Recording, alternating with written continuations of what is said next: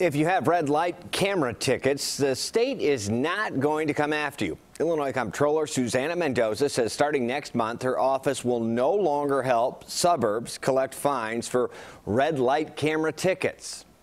This system is clearly broken. I'm exercising my moral authority to prevent state resources being used to assist a process that frankly victimizes taxpayers. Mendoza says not only is the system unfair to minority and low-income residents, but it's also the subject of a federal investigation. She believes red light cameras are less about keeping people safe and more about collecting money.